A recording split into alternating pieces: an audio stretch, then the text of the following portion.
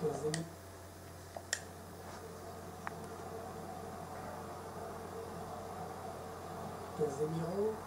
Oh, le but, le but qui leur permet de passer.